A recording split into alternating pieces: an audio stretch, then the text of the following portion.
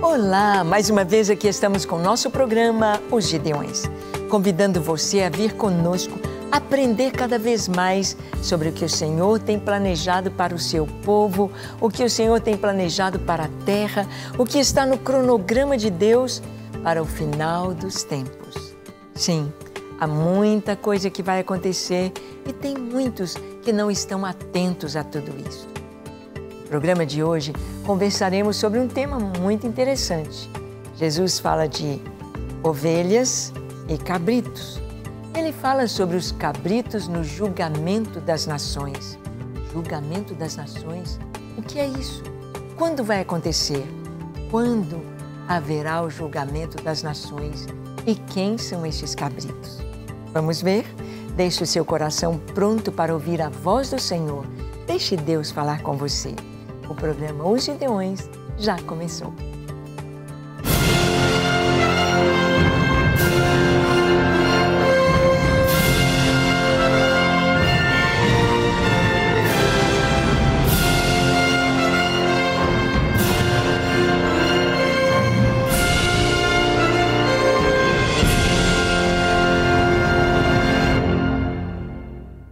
Muito bem, nós sabemos que Jesus nos fala a respeito do julgamento das nações. Ele nos fala sobre o ajuste de contas, isto mesmo. Às vezes as pessoas vão vivendo, vão caminhando, achando que ah, está tudo bem, às vezes olhando para a vida dos outros e eles mesmos não tomam posição diante de Deus. Não sabem que um dia cada um de nós estará diante do Senhor, prestando contas da nossa mordomia, prestando contas da nossa vida, daquilo que Deus colocou em nossas mãos. Vamos ver como Jesus trata esta questão do julgamento das nações. Quando nós lemos a história das nações, nós vemos que cada nação teve seu auge de coisas boas, de beneméritos, de benefícios para a humanidade, mas nações também têm histórias tristes, histórias de perseguição aos cristãos, história de perseguição a, aos judeus, histórias de muita guerra, de muita maldade, histórias de às vezes não valorizar o próprio povo, de opressão. E como nação, o Senhor vai trazer julgamento. Como assim? Julgar uma nação de um modo geral? Quem é a nação? São as pessoas. Jesus nos fala a respeito da, do passo a passo do que vai acontecer no tempo do fim. E quando ele vier, quando Jesus vier para julgar a terra, quando ele vier na sua segunda vinda, que vai se dar em duas etapas. A primeira, ele não pisará aqui, ele virá só até as nuvens. Nós, os salvos, iremos ao encontro do Senhor nos ares. É o arrebatamento da igreja. É a primeira fase da segunda vinda. E em seguida, depois que nós fomos com o Senhor para as bodas do Cordeiro, nós viremos com Ele para tomar posse da terra, para reinar aqui na terra fisicamente, para pisar sobre Jerusalém, sobre o Monte das Oliveiras e dali governar sobre toda a terra. E a palavra nos diz, o próprio Jesus nos diz, que ele então vai reunir as nações diante dele. E ele vai separar as ovelhas à sua direita e os cabritos ou os bodes à sua esquerda. Nós já vimos aí quem são as ovelhas, o povo de Deus, aqueles que fizeram bem, aqueles que no período da tribulação e da grande tribulação, eles foram como Schindler no período do Holocausto. Schindler não era um homem, é, podemos dizer, santo, era um homem ímpio, era um homem do mundo. Tinha lá seus vícios, tinha lá seus pecados, mas tinha um bom coração. E ele então foi usado por Deus para resgatar um grande número de judeus.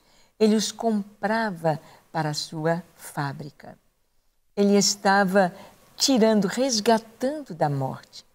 Quando você vai a Israel, no museu Yad Vashem, lá no Museu do Holocausto, você vai ver quantas pessoas trabalharam para resgatar judeus.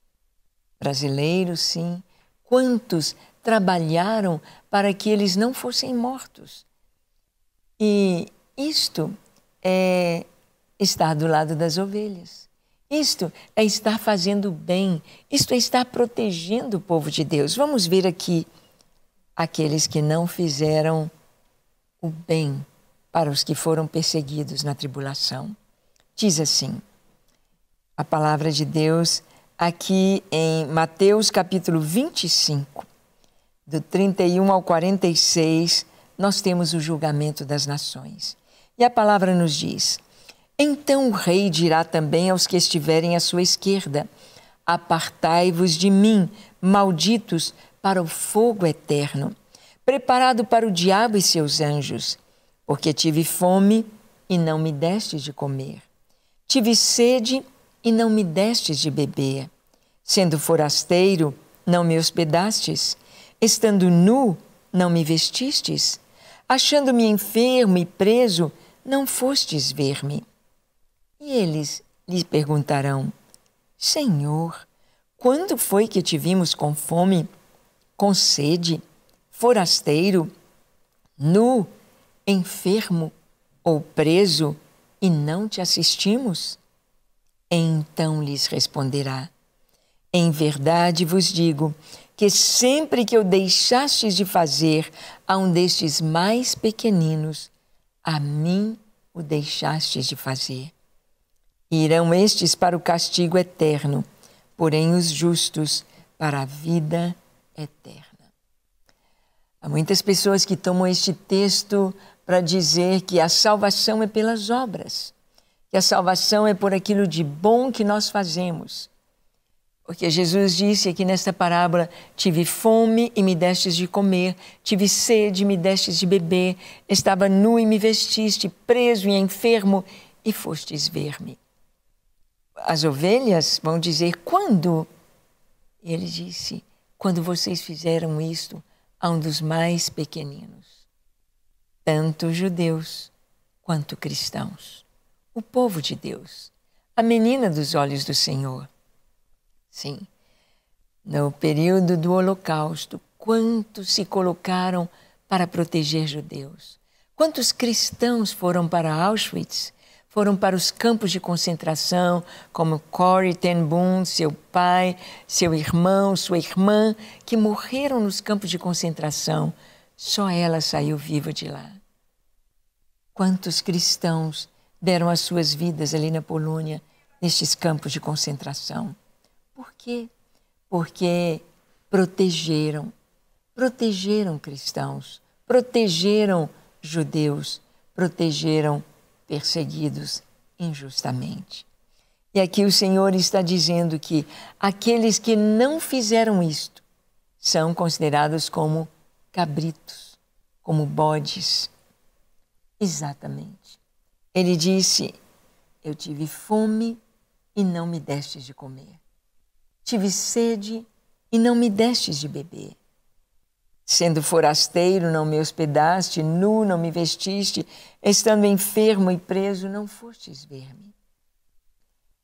Às vezes, a pessoa acha que fazer para o Senhor é apenas ir à igreja, é apenas ler a Bíblia, é apenas orar é apenas fazer alguma coisa espiritual. É cantar, é adorar. Sim, todas essas coisas que fazemos têm o seu valor, são importantes. Mas Jesus disse: Nisso conhecerão que sois meus discípulos, se tiverdes amor. Amor uns pelos outros.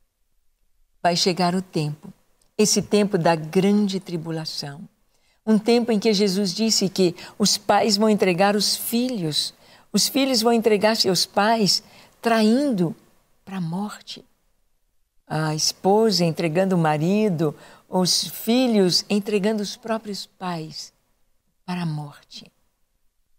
Tempo de tribulação, tempo de dor, tempo de muita morte, tempo de muita perseguição.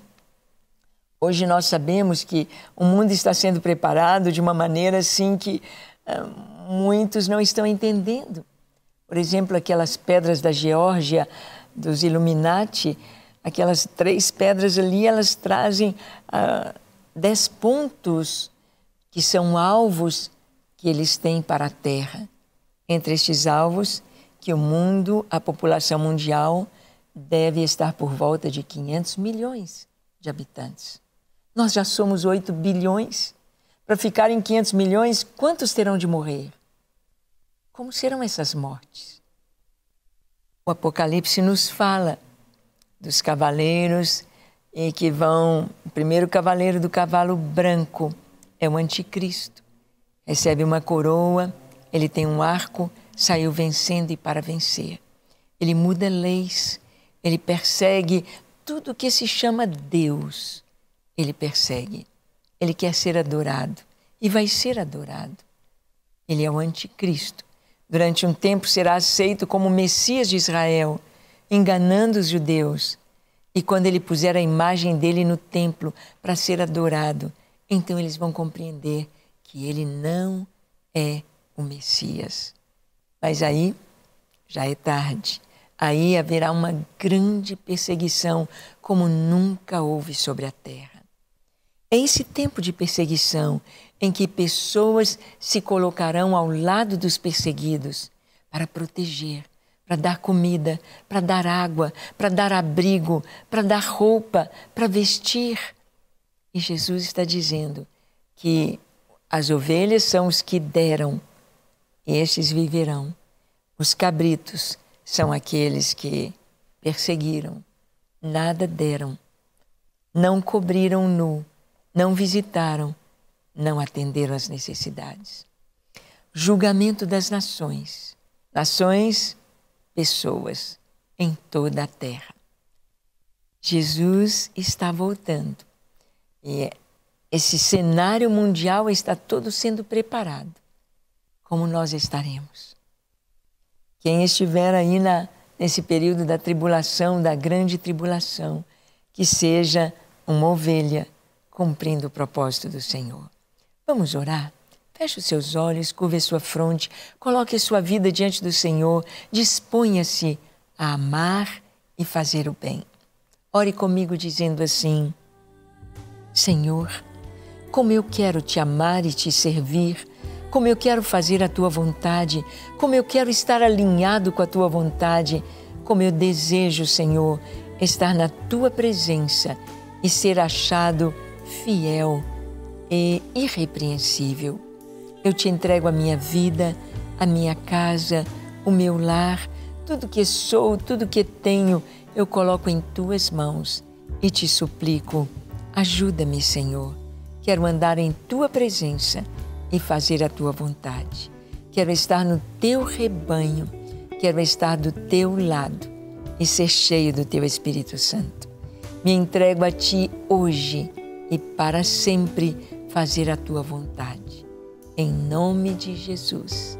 Amém, amém e amém. Graças a Deus. Isto mesmo, que o amor de Deus possa fluir do seu interior para que você possa viver em Sua presença. Que Deus te abençoe ricamente, que você possa estar nas mãos do Senhor cumprindo o seu propósito e ser achado fiel. Conheça o Ministério Gideões acesse o nosso site e seja também um Gideão 24 horas diante do Senhor. Até o nosso próximo encontro, se Deus quiser. Não quer ficar um segundo por fora da nossa programação? Agora você pode nos acompanhar através das plataformas digitais. Não perca tempo. Acesse, curta e siga-nos. Fique por dentro de tudo o que acontece por aqui. Rede Super, inspirando você.